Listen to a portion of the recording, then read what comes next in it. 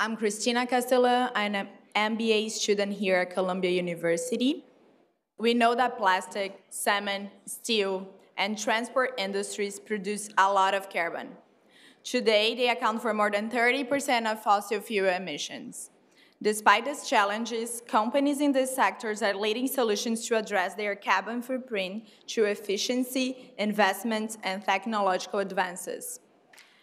What, with the title, Pathways to Decarbonize Hard-to-Abate Sectors, we'll discuss way to, ways to reduce carbon emissions in industries facing the most difficulties in achieving this goal.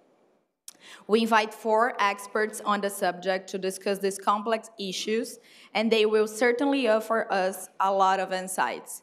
We call to the stage Rodrigo Lauria, Corporate Sustainability Executive at Vale, Ana Cabral, co-chair and co-CEO at Sigma Lithium, Jaqueline Conrado, Country Manager at United States, Renato Franklin, CEO of Movida, and to mediate the panel, we call back Artur Ramos, Managing Director and Partner at BCG.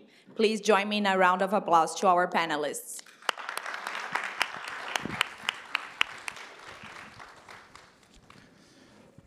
Muito obrigado boa tarde a todos.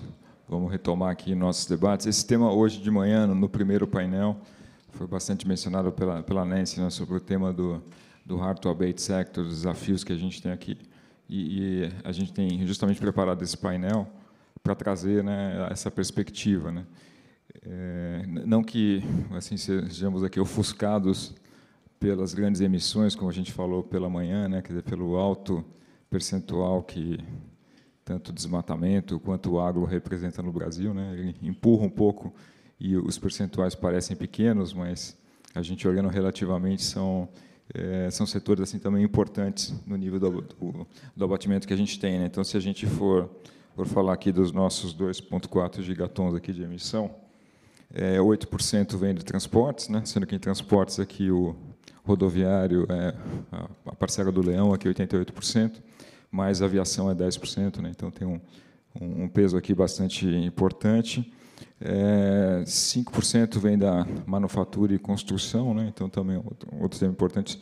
Siderurgia é a grande parte dele, 38%, cimento 17%, e 2% está do, do, total também, né, desse total está a mineração. Então, nós estamos aqui o painel falando de 15% do total, mas são segmentos bastante importantes, não, não estamos sendo exaustivos né, em todos esses segmentos, mas é, conseguimos aqui unir né, a mineração, que vai dar perspectiva também da siderurgia, a mineração que dá perspectiva também para todo o segmento aqui metalúrgico e, e baterias, né? é, transporte aéreo e também o lado da mobilidade, né? seja urbana e seja mais aqui. Então, temos aqui né, do, do lado dos, dos, quatro painelistas aqui, bastante, esperamos aqui um bom debate aqui para trazer a perspectiva desse em torno dos avanços. Né? Então, eu queria começar aqui realmente com, com a, a questão aberta, talvez aqui explorando inicialmente o tema do, da mobilidade, né? É, e indo primeiro para, vamos falar assim, para contar um pouco das histórias, dos avanços, o que, que a gente, para quem está hoje no dia a dia, como é que é lidar com esse desafio né, da, das emissões dos setores. Então, acho que o primeiro ponto aqui, pedindo para a Jaqueline falar um pouco da, das aerolinhas e depois, em seguida, o Renato para contar um pouco aqui mais no setor de, de veículos e transporte é, rodoviário, quais são os desafios que a gente vê, qual a perspectiva que eles veem para o futuro. Obrigada, Arthur. Oi, gente, eu sou a Jaque. É prazer em estar aqui. Obrigada, Marina, pelo convite, pelo evento. Eu acho que é, não tem como a gente, em qualquer que seja o negócio, não, não avançar e não ter uma iniciativa robusta em sustentabilidade. Quando a gente fala de aviação, a aviação é responsável por 2% das emissões globais. Então, e é, o, o momento da pandemia, para a gente, foi um grande divisor de águas em muita coisa no nosso setor mas principalmente a forma como a gente ia retomar o setor e a empresa. Então, não tem como a gente voltar né, para um momento de abertura de fronteira, né, das pessoas estarem conectadas, sem pensar no impacto que, que, que, que o nosso negócio tem. E a gente viu também o quanto o meio ambiente respirou melhor, uma vez que estava todo mundo né, dentro das suas casas, mas o mundo precisa estar conectado. Então, a gente realmente fez um está fazendo, na verdade, um investimento como nunca foi feito, não só na United, mas no setor de aviação. Então, até 2050, a gente vai ser neutro. Até 2035, 2035, 50% de redução. Até 2050, a gente vai estar neutro. Isso pensando. Né? Então, acho que tem duas iniciativas, porque dois pontos principais, na verdade. Porque a gente está falando também da transição energética. O mundo ainda é dependente né, de combustíveis fósseis e a aviação também. E existe uma trajetória para que a gente possa fazer essa transição para onde a gente possa chegar onde a gente quer. Então, uma coisa é esse momento transitório, que tem muito a ver realmente com o investimento agora que a gente pode fazer em SAF, com o que a gente pode fazer com as pegadas de carbono, com a captura, mas também tem como a gente quer o futuro. Então, por isso que hoje a gente já está pensando, inclusive, no futuro da aviação, com aeronaves elétricas, com outros tipos de combustível. A gente acabou de anunciar semana passada o investimento com a Embraer, porque a gente precisa trabalhar na transição agora, mas a gente já está olhando lá na frente, onde a gente não pode, não tem como mais contar só com combustíveis fósseis, né? A gente precisa realmente rever o nosso negócio como um todo. Obrigada. Vamos lá. Primeiro, parabéns ao todo o time da EB pela organização. Eu falo sempre que conhecimento é a chave para a gente tomar consciência e começar a agir. Né? A gente parte do pressuposto que tem uma tendência global, que todo mundo reconhece a necessidade de mudanças climáticas e do impacto do clima, mas isso é a realidade para um percentual muito pequeno da população. Né? Eu gosto sempre de fazer pesquisas básicas com pessoas de nível, bem formadas e tal, e as pessoas não sabem, por exemplo, que etanol emite menos do que gasolina, sendo que o etanol emite 10 vezes menos que gasolina num país igual ao Brasil, o etanol brasileiro. Então, Parabéns pelo evento, esse conhecimento, sem dúvida nenhuma, a gente aprende bastante e multiplica para muito mais gente. Segundo, uma honra estar aqui. E eu cheguei na Movida, né? a gente chegou na Movida nove anos atrás, e fazendo um link com esse negócio de conhecimento, a gente tinha um propósito muito voltado para o social, porque o Brasil é fácil você ter consciência do social, porque você vê na rua, está ali na sua cara. Né? Então, quero democratizar a mobilidade, dar acesso ao carro com tecnologia para toda a população. E, e, na verdade, aos poucos, né, graças a esse tipo de evento e pessoas muito iluminadas que estão engajadas nesse tema há muito tempo, a gente foi sendo provocado e aí aprimorando a agenda. A Tarsila é uma delas que está aqui e que estava lá desde o início nos provocando e nos apresentando pessoas para conhecer metodologias, frameworks e poder melhorar. Né? Desde o início, a gente então assumiu o compromisso de ser carbono neutro em 2030, uh, ah, foi considerado o target mais agressivo aí da indústria de transportes, e a gente, considerando escopo 3 desde o início, somos comprometidos com o Science Based Targets, e até hoje estamos entregando tudo que a gente se comprometeu. E muito se falou a respeito do mercado de crédito de carbono, que são ferramentas que vão monetizar essa estratégia para a gente trabalhar para o meio ambiente, né? remunerar é, a preservação do meio ambiente. Mas, na verdade, a remuneração ela já existe. A gente tem vários contratos B2B que a gente ganhou e teve last call pela agenda ESG, a gente bateu um pico, a gente cobra uma contribuição simbólica, sim, mas é 2% a mais para o cliente que quer descarbonizar as locações. Isso vem desde 2009, não é mérito meu, lá da Movida, há muito tempo. Mas julho bateu 33% das locações eventuais, ou seja, locações de férias, 33% dos clientes pagaram para ter suas locações descarbonizadas. Então você vê que quando a pessoa vai se conscientizando, ela realmente adere e está disposta a contribuir para a gente ter um planeta melhor. A gente fez a primeira emissão, né, numa época, lá em 19, a gente com dificuldade, né, ah, mercado de crédito restrito no Brasil, nosso business intensivo em capital, e fizemos a primeira emissão do setor no mercado externo, fazendo um Sustainability Linked Bond, que foi o primeiro também da indústria no mundo, com targets de redução de emissão. E baseado basicamente em três alavancas. Né? A primeira delas é sim energia renovável para escopo 1 e 2. A segunda é o uso do etanol, porque a gente não pode se dar ao luxo de esperar o carro elétrico para poder neutralizar as emissões. E o etanol é muito melhor do que a gasolina. Então, por que não utilizar o etanol?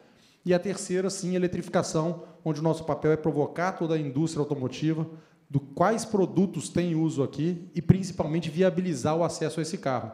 Porque tomar uma decisão de adquirir um veículo de 250 mil reais, primeiro que é para poucos, segundo que é uma decisão difícil de se tomar.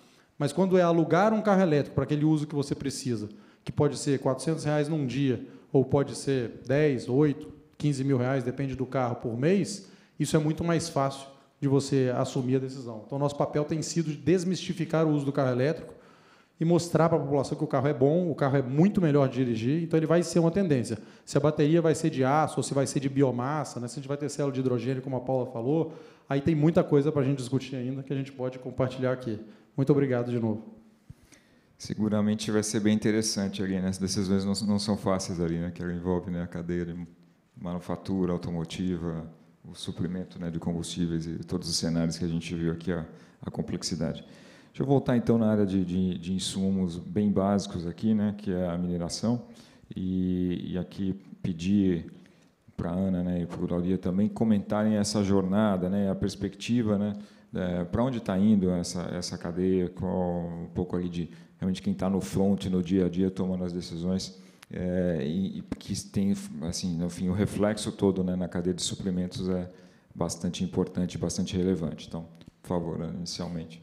Bom, é, nós acreditamos piamente que o Brasil tem uma das maiores oportunidades, talvez do século, aqui, né, da década, de liderar esse global supply chain de materiais ambientalmente e socialmente sustentáveis para alimentar materiais de baterias, né, para alimentar essa transição energética global que ocorre hoje basicamente no hemisfério norte. E, e ficou claro aqui por que no hemisfério norte. Né?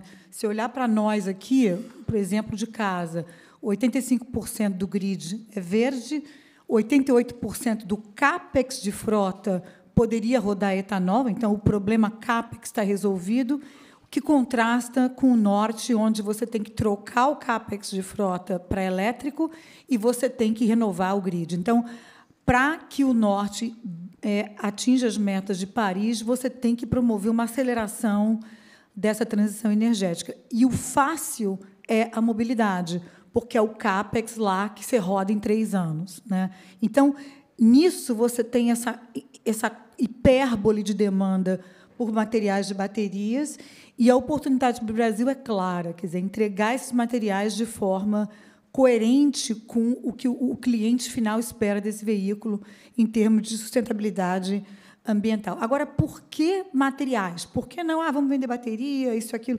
E aí mostra-se o total desconhecimento de como a cadeia roda, é muito no debate interno doméstico que a gente vê sendo superficial. Né? Por que materials? Porque o Brasil tem world class, tem feeds de alta classe. Materials são os insumos refinados, purificados, trabalhados tecnologicamente. E esses insumos, nesse processo, você agrega valor, você agrega o imposto da comunidade, quer dizer, você agrega sustentabilidade social, que é o royalty, né? e você consegue limpar a cadeia de produção, porque você tem mais fluxo de caixa para trabalhar da mina à planta com uma margem maior, uma redução dos, dos, do que seriam suas emissões, utilizando tecnologias clean tech, green tech. E aí é que entra essa competitividade do Brasil, ou seja, você criar valor tecnológico processando mais downstream. Você desce downstream até o limite logístico de onde é possível. E onde é o limite logístico? É catodo bateria. Por quê? Porque é uma autopart, é uma parte do veículo que, é, por questões de segurança, precisa estar do lado da fábrica de carro, que é lá em cima. Por que isso? Você não consegue seguro marítimo para volume de células porque explode. Então, você está observando que 300 gigafactories anunciadas no hemisfério norte praticamente todas do lado dos grandes mercados de elétricos. E a nossa oportunidade aqui é o quê? Suprir essas 300 gigafactories com esses materiais altamente tecnológicos e de altíssimo valor agregado. E é isso que traz essa oportunidade de ser para o Brasil de ser um green powerhouse, porque nós somos um dos poucos países que casa qualidade de feed, Quer dizer, você tem aqui uma base de recursos naturais robusta para trabalhar tecnologicamente, com a ausência de um passivo energético sujo, porque você tem uma matriz que naturalmente é 85% limpa. Mas não é só uma coisa, é uma coisa e outra. Eu acho que esse é o tema de hoje, né? É, obrigado, boa tarde a todos e todas. Acho que pegando carona aqui no que você falou, né, falar um pouquinho dos desafios e oportunidades, a gente trabalha sempre nessa dualidade, né? É, desafio está muito junto com a oportunidade. Bom, é, intensivo em energia, dependente de fonte fóssil, obviamente, mas quando a gente começa a entender um pouco e quebrar esse desafio em pedaços, a gente começa a ter a dimensão de qual é o tamanho dessa jornada. Né? Então, a primeira parte dessa jornada é fazer com que o teu processo produtivo ele seja pensado e trabalhado numa matriz menos intensiva em carbono. Né? Então, aquele equipamento que extrai o minério, né, que faz o feed ser tão positivo, que transporta muitas das vezes, e a gente às vezes perde a dimensão de que para sair de uma mina até um porto você roda 900 quilômetros, dependendo de fonte fóssil, você precisa fazer com que isso seja menos intensivo. Então, vem a eletrificação, né, vem os combustíveis mais limpos. Quando você pensa que para esse modelo produtivo funcionar, você tem energia elétrica, você tem outras fontes que também precisam ser limpas. Né? Então, buscar fontes renováveis, buscar fontes certificadas. Né? Quando você pensa no desafio de ir para a tua cadeia, e aí, né, no caso aqui da siderurgia, 98% do que a gente tem está na siderurgia, o tamanho do desafio é muito maior. Né? Então, você começa a pensar, poxa, eu tenho uma dupla missão aqui. Eu preciso tanto fazer com que eu entregue produtos menos intensivos em carbono, mas eu também tenho uma atividade de engajamento muito forte para fazer com que esses clientes que estão em geografias diferentes, com compromissos diferentes, com realidades diferentes, também se engajem no desafio. Né? E como eu falei, o desafio da oportunidade ele está muito intrínseco ao, ao, né, uma coisa vem junto da outra, ou seja, na medida que você faz isso, você leva para a tua cadeia, para os seus clientes, um, produtos menos intensivos. Eles, por sua vez, vão processar e vão entregar para os clientes deles produtos menos intensivos. Então, um colega falou mais cedo, quando a gente chegar no mercado e ver lá o selinho de quanto eu tenho de carbono, quando você comprar seu carro, seu telefone, também você vê lá quanto que você né, tirou de carbono daquele produto. Então, acho que isso é um pouco do, do que a gente vem trabalhando. Muito bom. Muito, muito obrigado a todos também por darem a, a, visão do aí também a montante, a jusante. Né? Acho que isso também é bem bem interessante e importante ter essa perspectiva. É, um dos temas aqui que a gente, né, toda essa, essa nossa conferência aqui é o Brasil as a Solution Hub. Né? Então, e vocês, de certa forma, já começaram a falar nisso, já avançaram nisso, né? mas eu vou começar agora, talvez sendo mais específico assim, na visão de vocês, assim, como é que você alavanca essas, todas as nossas vantagens que a gente colocou aqui. E aqui vou começar pelo Renato, até porque a Ana falou que é mais fácil né, com, com veículos. Tá? Verdade. Não, e é bem fácil, assim, obviamente, fácil é relativo, mas é fácil da gente dar um salto de descarbonização sobre a referência que a gente tem hoje. Porque, como a Ana colocou bem, a gente hoje já está dado. Você não precisa investir em infraestrutura, não precisa de carro elétrico para a gente descarbonizar. Grande parte do uso dos carros é feito com gasolina. E carros, quase todos são flex. Você pegar os nossos carros, 99% são flex da movida. Então é um negócio que é muito fácil usar o etanol. Uma, uma dúvida pontual: tem algum incentivo para o seu cliente? Qual combustível? Hoje tem um incentivo no último tanque, porque como ele abastece, ele tem que devolver com o tanque cheio, o álcool é mais barato, é muito melhor para ele usar o etanol no caso do carro alugado. O desafio nosso é como é que a gente faz para a população em geral, né, nos pô, 20 milhões de carros que estão rodando, poder fazer o, o, o, uso do etanol também. E aí passa pela consciência. Né? Eu participei de vários grupos de discussão no ano passado e a gente tem, fez até está fazendo duas pesquisas com acadêmicos sobre o etanol, a emissão completa do etanol, fazendo né, will to tank é, e, e, e, o tank to will, é, para poder a gente ver realmente o que é a cadeia de um carro elétrico no Brasil, comparar com um carro elétrico na Europa e comparar um carro etanol fora e um carro etanol aqui. Lembrando que o etanol brasileiro é uma jabuticaba. Então, nas primeiras discussões, jabuticaba é que só tem no Brasil, tá, gente?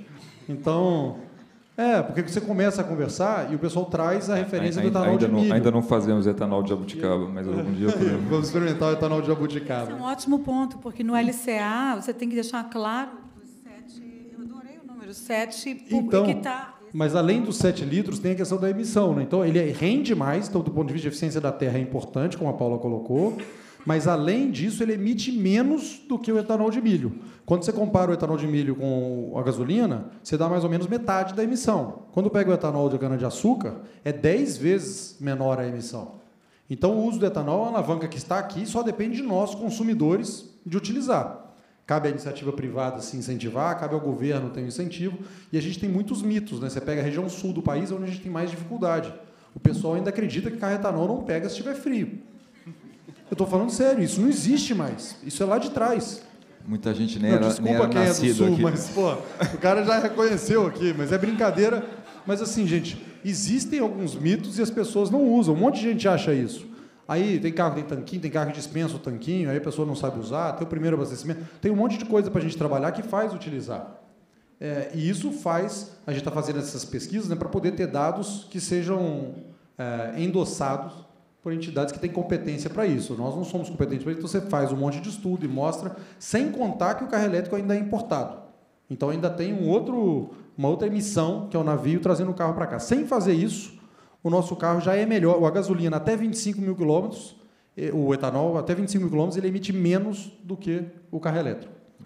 Então, o negócio, a Volkswagen fez um estudo deles também e mostrou a mesma coisa. A gente está conversando com todas as montadoras e é engraçado, né? A gente começou só um parênteses, a gente começou, por exemplo, lá atrás para fazer o do, do carro elétrico, né? E, e, ele fica estocado. A gente está conversando com uma montadora que acredita em céu de biocombustível, mas tem carro elétrico, e ele trouxe para o Brasil e é difícil de vender. E quando a gente fez uma iniciativa para comprar esse estoque e disponibilizar o carro elétrico para a população, né? Você vê que a degustação, a desmistificação gera um marketing que ele tinha previsão de trazer 100 carros no outro ano, que já estava agarrado, aumentou para 500, que virou 1.000. Então, é coisa muito pequena perto da frota, mas 100 para 1.000 é 10 vezes por causa de uma iniciativa muito pequena que mostrou para a população que pode se usar carro elétrico para alguns tipos de uso. Quando você pega a população que pega um carro para viajar um fim de semana para a praia, no litoral de São Paulo, para rodar 100 km, ele não gasta nem combustível, carrega na tomada de uma casa, se for casa alugada. Então, tem um uso muito simples para poder ser feito motorista de aplicativo, motorista de delivery, está crescendo muito o e-commerce. E aí o e-commerce, a pessoa usa, é o mesmo motorista que fazia Uber, hoje ele está trabalhando no e-commerce que tem um pouco mais de renda. Só que quando você dá um veículo adequado, você maximiza a renda dessa pessoa. Aí, de novo, tem a ver com social, né? como é que eu gero inclusão social é, pra, gerando emprego, gerando renda. E aí você dá um veículo que ele fatura mais, aí você dá um veículo que gasta menos combustível e, ao mesmo tempo, você está descarbonizando. Além disso, né, só voltando no etanol, um gancho, que eu esqueci de falar, né, que eu acho que é bem importante, o etanol hoje ele é bem relevante para a nossa economia. Se a gente pegar toda essa cadeia de produção de cana-de-açúcar, né, estima-se quase 4 milhões de, de pessoas trabalhando. Né? Então, são 800 mil diretos, mais 3 milhões e 200 indiretos. Então, isso também é relevante, fora para a balança comercial. Nós deixamos de importar gasolina, porque o Brasil não fabrica toda a gasolina necessária. Então, nós deixamos de importar gasolina, que também teria emissão de CO2, porque a gente produz etanol. Então, no, existe um questionamento, né, de vez em quando surge uns doidos questionando o etanol. E o etanol está aí, é fácil de ser emitido e tem que ser reforçado, porque senão a gente vai ficar falando, não, tem que ser elétrico, tem que ser elétrico, tem que ser elétrico. Será elétrico, porque ele é melhor. Isso é igual o iPhone chegou com a tela e o povo falou, eu gosto da tecla. Ah, é igual, tem gente que fala, eu gosto do barulho do carro. Azar é seu, vai ser elétrico. Não, é sério, é igual quem gosta da tecla. É melhor, é mais confortável, é mais é melhor performance, é sustentável, vai ser. Só que tem uma jornada até lá que a gente vai pode usar o etanol e acelerar isso e ser muito melhor. Então vamos passar agora mover para mais alto nível, né? Sim, é bem no alto. Mas, é, bom, no nosso setor, acho que o desafio é como a gente traz escala. Então, tem muitas. É, hoje, por exemplo, todo mundo que pega um voo a partir de Los Angeles, né, do nosso hub da United, está voando com aeronave com SAF. Né? United hoje é a companheira que mais compra SAF hoje. Mas a questão é como a gente traz isso para uma companheira global. E por isso que o investimento que a gente está fazendo em pesquisa, e nisso o Brasil tem muito a ver não só no combustível, mas também na, na aeronave em si. Por isso, inclusive, para a gente, a Embraer, não só o Brasil é um powerhouse no mix de energia e o, o que fontes alternativas em pesquisa, mas também para o nosso negócio pela própria aeronave. Então, hoje, a, o, tem a questão como a gente faz hoje, né? Como o, o Renato falou bem. O que, que, a gente pode fazer agora? Agora a gente precisa diminuir as emissões que a gente tem com a tecnologia existente, mas ao mesmo tempo a gente tem essa questão da captura, como a gente falou, tem a questão do offset, mas também a gente já investir desde agora, tem a United Ventures, né, investir na tecnologia não só do combustível, para trazer escala para isso, mas também em qual aeronave que a gente vai voar. Aeronave de longa distância. Então, hoje a gente tem, já tem, existem aeronaves elétricas, né, a gente até fez essa compra da Embraer dos, dos, dos táxis aéreos. Então, ok, mas como a gente traz isso para longa distância? Então, isso é algo que ainda não não existe forma da forma ideal. E por isso esse investimento em pesquisa do nosso setor é muito importante. E como também o, o, o Renato comentou, e é uma provocação que a gente está fazendo no setor, porque a gente, a gente que mesmo vivendo no ambiente altamente competitivo, a gente quer, a gente precisa de mais players para trazer mais pesquisa, para diminuir custo e para trazer essa escala. Então acho que isso, isso que a gente está promovendo essa discussão, essa essa essa provocação e o investimento. Se, se eu pudesse uma pergunta específica, sabe que os consultores são heavy users né, de, de aviação, né? Nosso principal item de, do nosso, você tem um compromisso também, net zero 2030 e isso para a gente é 90% das nossas emissões. Como é que é, a sensibilidade do consumidor a essa possibilidade de offset? Como é que vocês veem isso também hoje no curto prazo? Como é que eles reagem a isso? Então, que a gente recebe também voa, recebe uma pesquisa, você quer adquirir? é altíssima e principalmente foi um super game changer na pandemia. Então, hoje as empresas estão muito, nossos clientes estão muito mais conscientes e exigem isso muito de nós também. Então, isso coloca inclusive a gente num patamar competitivo muito interessante quando a gente compara com a indústria. Então, hoje eu só consigo algumas empresas isso quando a gente fala de cliente pessoa jurídica e pessoa física. Eu vou falar primeiro da pessoa jurídica. O cliente pessoa jurídica tem alguns clientes hoje que não vão voar X companhia aérea se não houver um investimento robusto em sustentabilidade e nas nossas emissões. Então, a gente tem clientes que querem participar, que tenham programas onde eles possam participar, onde eles possam compensar as emissões dele, mas tem clientes que também não, não vão voar. E a mesma coisa a pessoa física. Então, hoje, o comportamento do consumidor e, digamos, o, a, a exigência que existe com relação a isso está muito maior, e as pessoas, em termos se tiver o preço competitivo, elas vão preferir uma companhia aérea onde existe é, essa robustez em investimento. E algumas pessoas ainda, se o preço estiver um pouquinho acima, elas ainda vão preferir aquela que está diminuindo o seu impacto. Então, está muito mais robusto isso hoje. Passando aqui para Ana, então, como é que continua na, na, como é, soluções? O, o papel do nosso setor é ter certeza que, quando você olha para as para o resultado final na mobilidade, você tem um, um, ciclo por inteiro zero carbono. Então, por exemplo, a Volkswagen anunciou que o ID4 vai ser um zero carbon car, né? Então, o desafio para a gente é, ok, daqui para trás, como é que você resolve essa cadeia de suprimentos do carro, na medida do possível. 40% do, do ID4, do, de qualquer veículo elétrico, é a bateria. Então, o desafio é produzir esses materiais de bateria com o mínimo possível de footprint. Qual é o grande desafio? Que não tem prêmio verde. Então, esse é um freebie que você tem que entregar para a indústria, ou seja, você tem que entregar o produto com menor impacto ambiental, de, no nosso caso, com impacto social, sem ter um prêmio verde ainda. Por exemplo, o alumínio foi o primeiro base metal que você agora tem um prêmio verde cotado na LMI. E aí, como que você trabalha isso? Tecnologia. O único jeito de você conseguir ganhar esse jogo sem poder cobrar prêmio é jogar tecnologia. E aí se deu o exemplo da Sigma, quer dizer, hoje o Brasil já é um green powerhouse em lítio. O nosso lítio está sold out, a gente tem um waiting list é, com alguns dos maiores produtores de veículos do mundo esperando, chasing, procurando material direto. Ou seja, os nossos clientes são os fabricantes de bateria. Hoje a gente vê os clientes dos clientes querendo tag ou fazer um blockchain do material para ter certeza que vai para eles. Na medida em que a gente sai com um produto daqui com um, um, um, uma emissão muito, quer dizer, com um LCA, né? Isso é importante que o Bruno falou sobre isso, muito baixo, que é como o mundo está olhando. Não é mais só ar, né? É land, é ar, água e terra. E é assim que você ganha, por exemplo, dos, das salmouras, né?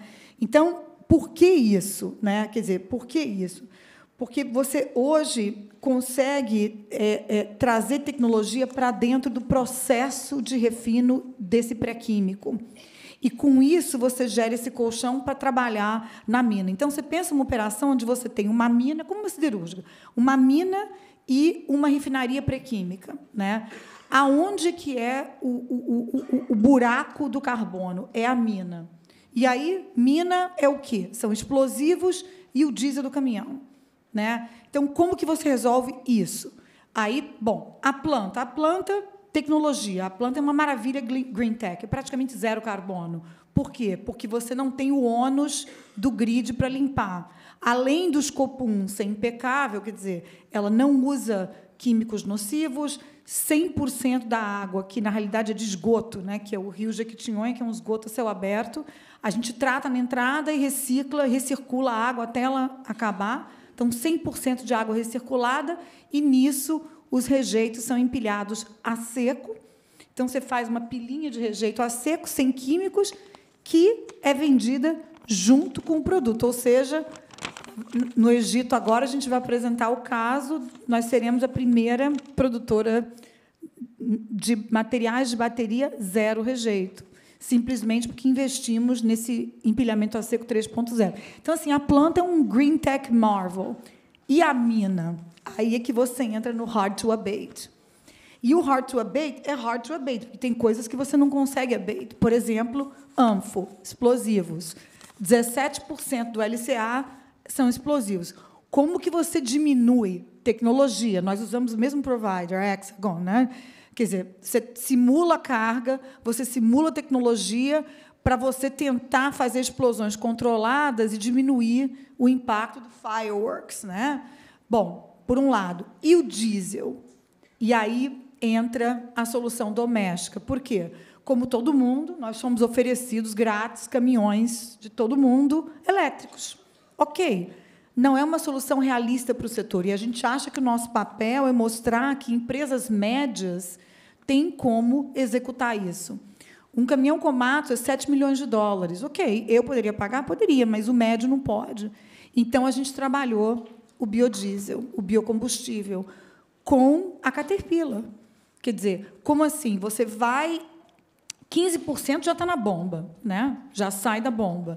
Então, qual é o trabalho? É testar, depois do ano 1, um, a cada trimestre, quanto você consegue incrementar de uso do biocombustível e o custo concomitante de aumento de wear and tear, né?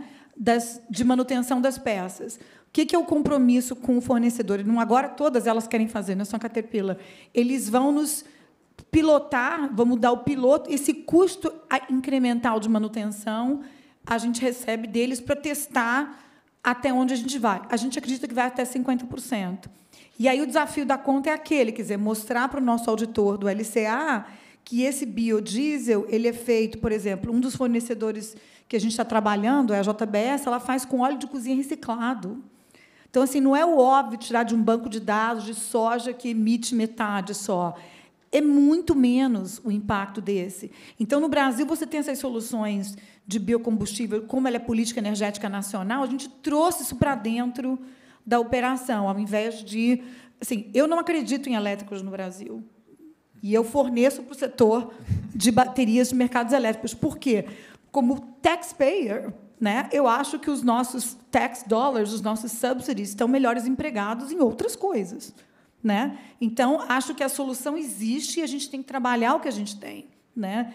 E, e, e, e, é aí que entra o nosso trabalho de jogar tecnologia e tornar o hard to abate das minas e, obviamente, o processamento. Quer dizer, a gente jogou tecnologia, não usa químicos, não tem barragem de rejeito. Quer dizer, você sai dali com um produto que é impecável. Né? E você viabiliza a transição no hemisfério norte com um insumo que traz para o país essa vantagem competitiva, que é por isso que a gente diz, nós somos um green powerhouse, pelo menos no que diz respeito ao lítio. Né?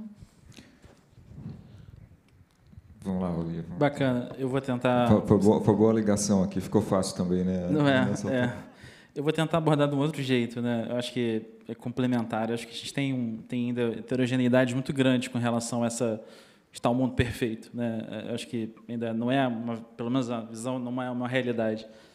Eu acho que a forma para não ser repetitivo com relação à tecnologia, porque acho que isso é inerente ao que a gente vai ter que fazer, né? Então, buscar novas fontes energéticas, buscar biomassa, de que tipo de biomassa, etc. É você ter um, uma condição de trabalho dentro das empresas, dentro das, dos grandes emissores, que te permita pensar isso de uma forma estruturada. Né? Então, a gente está falando aqui, primeiro é ter projeto, é o V0 da discussão. Né? Você ter projetos que, de alguma forma, tangibilizem os seus compromissos, os teus, os teus desafios. Criar um ambiente de governança e gestão que te permita seguir com isso. Né? A gente hoje tem um fórum de baixo carbono dentro da companhia. O CEO participa, o C-Level participa, as áreas que são diretamente ligadas participam. A gente tem os comitês do board de, de, de, de, administração participando, orientando, dando os pushbacks. Então, você cria um locus onde isso permite ser mais fluido. Né? Você tem mecanismos, curva de abatimento de custo, precificação interna, né? trazer o carbono para o cerne da decisão, ser um dos elementos que de fato cumprir. Então, acho que isso traz um, uma preparação. Né? E junto com isso vem o desafio de saber que a gente está numa trajetória. É muito fácil. Né? A gente fala muito de não um sprint, né? uma, uma maratona. E tem os desafios que são inerentes a essa maratona. As tecnologias não estão prontas. Você não chega e fala, ah, quero uma ordem, a gente vai trazer 100 caminhões elétricos de 400 toneladas. Não existe isso. Você já tem os de, os de 70, recebemos, vou comentar para botar, né? Onde, onde eu carrego, como eu carrego, né? Ah, vou eletrificar a ferrovia. Quanto tempo leva para carregar? Né? Então, é, é, é, muito fácil. Não, você emite, você, você transforma. Como? Vai rodar. Qual é a autonomia que você tem? Então, tem um. Acho que um outro colega aqui também falou. PowerPoint virar planilha, né? Eu falo que a gente tem que seguir um passo a mais e a planilha tem que virar teste de bancada e teste de bancada tem que virar implementação. Né? Então, acho que isso é um pouco também para complementar aqui a visão do desafio. Olha, uma pergunta específica aqui para você. A escala, né? a escala da Vale, por exemplo, é uma vantagem ou é uma desvantagem nessas questões? Ou, é claro que não tem uma resposta única, mas como é, o que você vê do lado copo meio cheio, copo meio vazio? Eu acho que a gente tem, de novo, a dualidade. Né? A escala te permite ter acesso e, de alguma forma, ajudar a influenciar esse, esse ambiente. Né? Então, você fazer as parcerias, você buscar o know-how, compartilhar o que você já sabe também. Empresas que aparentemente são concorrentes passam a ser parceiras em desenvolver aquilo que não existe, porque todo mundo se beneficia. Ao mesmo tempo, o desafio da escala, ele, ela, ela é o como é que eu não, eu não posso me até a ter soluções que sejam muito pequenininhas, porque elas não vão endereçar o real problema. Né? Então, uma vez que você desenvolva, como é que você faz isso ser de fato uma solução que seja potente o suficiente para dar conta do desafio que você tem? Muito bom. Acho que a última rodada aqui dos temas aqui também é um tema bastante caro aqui para a gente, que é a proatividade. Né? Toda essa conferência a gente quer sair com que a gente pode fazer, o que a gente pode lançar. Né? Acho que tem muito essa tônica. Então, assim, no lado de, de proatividade aqui, também pedindo uma rodada aqui rápida aqui do, dos, meus, dos nossos painelistas aqui, o que, que o setor privado pode fazer nessa para acelerar esses processos? Vamos, vamos na, na sequência de novo. Tá Está tá funcionando, o time que está ganhando. Vamos lá. Eu acho que primeiro, né, o nosso papel, né, primeiro é, é multiplicar esse conhecimento para engajar mais gente, né? Se pegar na, na, Movida, por exemplo, 98% das nossas emissões são escopo 3, ou seja, não são feitas dentro da companhia. Então, o que a gente vai fazer aqui para eliminar escopo 1 e 2 não mexe o ponteiro, não tem contribuição para o planeta. Então, a gente precisa realmente engajar todos os consumidores, engajar a sociedade. E acho que todos nós, né, o público que é privilegiado, que está nas grandes empresas, que está realmente em posições relevantes, acabam sendo porta-vozes e podendo influenciar muito. O Rodrigo colocou, né? A escala permite influenciar toda uma cadeia. A gente, como foi o maior comprador de carro do ano passado no Brasil, como maior comprador de carro, você consegue influenciar a indústria. Então você chega lá e fala: não existe uma van elétrica. Eu falei: eu vou ter van elétrica. Eu posso ir para a China ou você pode produzir. Porque vai ter van elétrica. E aí o cara já traz dois modelos, já começa a ver, para poder influenciar. E aí você começa a olhar para o híbrido, olhar a célula de combustível. Hoje já está testando um monte de coisa. É difícil saber qual é o caminho. Mas você estimula investimentos em tecnologia que vão proporcionar a gente a ter um uso. Quando eu falo, por exemplo, do carro elétrico, o carro será elétrico do ponto de vista de motor. Mas da onde vai vir a energia? Se é de uma bateria, se é de uma célula de biocombustível, se é de um hidrogênio, ou se é do etanol, assim, que pode gerar, que eu já andei num carro que é elétrico com etanol. 20 litros de etanol e 20 litros de água, ele anda mil quilômetros. É um protótipo, não homologado, mas ele funciona, mil quilômetros. Olha a emissão. E é elétrico. Você usa igual elétrico, performance de elétrico. E abastece em qualquer lugar. Então, acho que esse é um pouco do que a gente tem que fazer, né? estimular todo mundo, traçar metas ousadas. Eu acho que as metas têm que ser ousadas e de curto prazo e serem acompanhadas. Porque no fim do dia, quando a gente traz, todo mundo acha que a gente é doido, mas desde o início da movida foi isso. Né? Tinha 2 mil carros, a gente falou, primeiro ano, vamos terminar com 15 mil. Todo mundo achou gente maluco. Terminou com 19 mil. No outro ano você fala que vai terminar com 35, ninguém acha doido mais. E aí as coisas vão andando, e a gente com isso tem crescido 70% ao ano, trazido cliente, trazido muito colaborador que quer trabalhar em empresa com propósito, quer ter uma agenda ESG de verdade, olhando para o social, olhando para o ambiental, olhando para a governança, que é um negócio sustentável e deixar um legado. Acho que esse é o papel de todos nós. Escala é tudo. Por exemplo, a Sigma é maior. É, assim, nós temos a maior base mineral de, de lithium ore das Américas. Do Canadá, Argentina, the largest.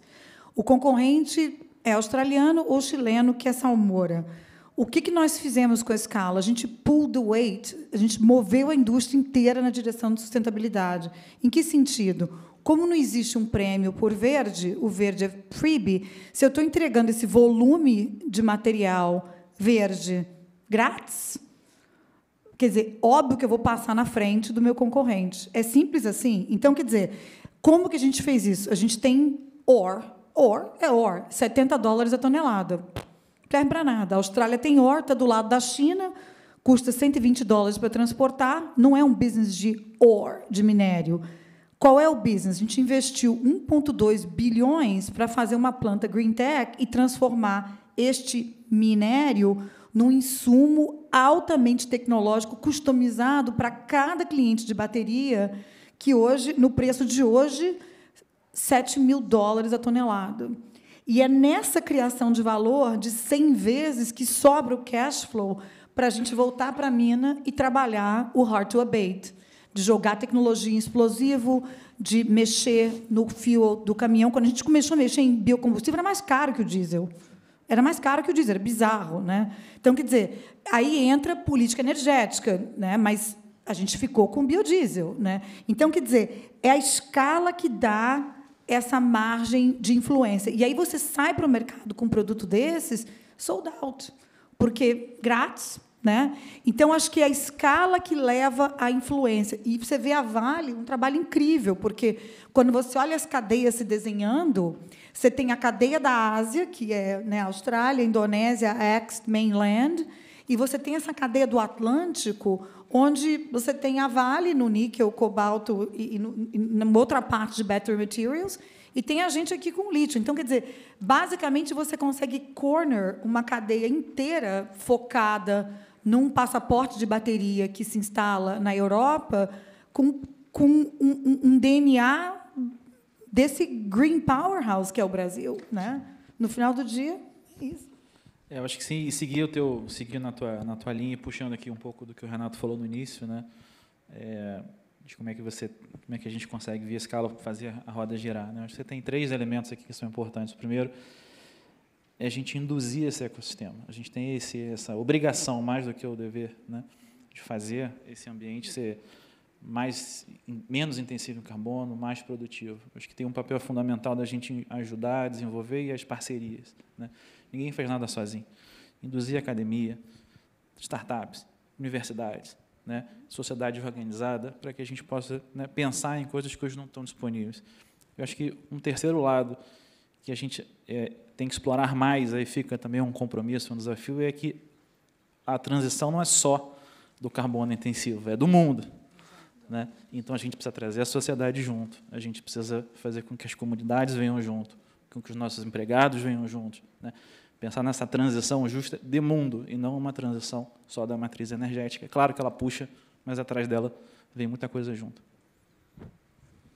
Bom, além, bom, além do estímulo realmente a toda a nossa cadeia, seja do cliente ou, ou com os fornecedores, né, só pontuar isso, hoje a gente não, não entra numa conversa com o cliente não colocando isso na pauta.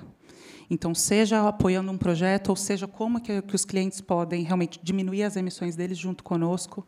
Então, realmente pensar em todo o processo, como que a gente pode trabalhar juntos para isso.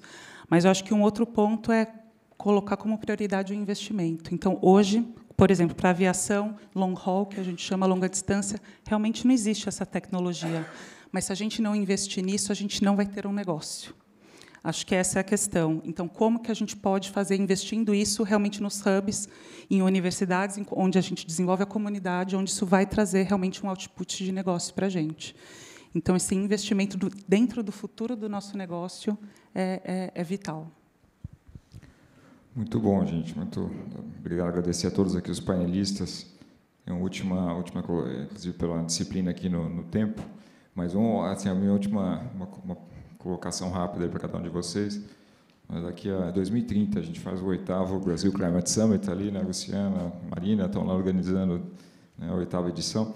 Vocês se veem no painel Hard to Abate ou Easy to Abate? Vamos estar no Already Abated. Ah, boa. Ó, só uma dica, hein? Quem trocar carro usado de 3 anos por um carro alugado que é, tem idade média de 8 meses, já é PL7, já reduz uns 30% a emissão, tá? Jaqueline. Tem que fazer propaganda para pagar a passagem. No abate também, no processo. Exatamente. Já cortaram? Zero carbon em 2025, 26 anos antes do target. Por quê? Não, porque por causa de in credits, in setting. Essa é a chave. Assim, tem coisas que não tem tecnologia, eu não posso deixar de explodir os taludes, né? O combustível é o biodiesel, ele me corta um X de emissões. O que, que a gente fez? A gente montou um cinturão. Eu estou no Vale do Jequitinhonha, que é o semiárido brasileiro, é a Caatinga. A gente compensa o PIT 5 para 1. Então, a gente tem um cinturão verde de floresta tropical, onde, no 5 para 1, a gente criou o insetting, de, de, auditou e criou o inset de crédito de carbono. Esse inset mata o meu, o meu status quo. Quando eu cresço, a ideia é buscar o crédito em solar, em self-generation. Então, assim, o plano é zero em 2025. E, e, e o meu comp, como co-CEO, é atrelado a isso. Ou seja, ou eu faço ou eu não vou get paid. Né? O que é uma decisão bem corajosa do board também. Né? Muito bom. Rodrigo, teu. Acho que 30 segundos finais aqui, eu acho que a gente vai ter olhado para trás e falar assim, conseguimos, conseguimos mexer. Né? É, de nada adianta você ter um super plano que não seja tangível, não adianta você ter um super compromisso que seja inexequível.